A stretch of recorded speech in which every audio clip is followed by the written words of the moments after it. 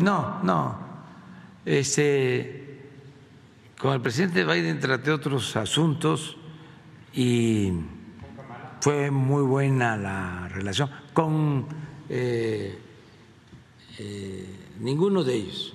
Eso que usted me pregunta, pues es lo que sostienen mis adversarios, los conservadores.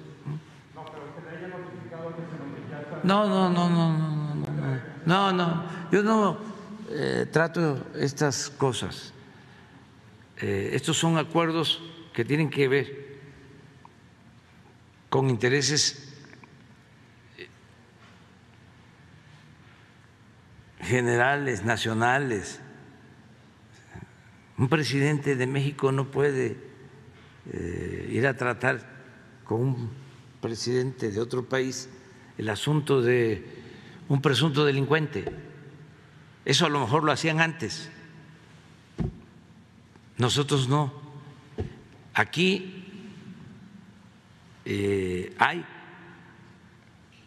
la decisión de que se haga valer un auténtico Estado de Derecho y que al margen de la ley nada y por encima de la ley nadie. Estado de Derecho. Y las instituciones tienen que cumplir por su responsabilidad.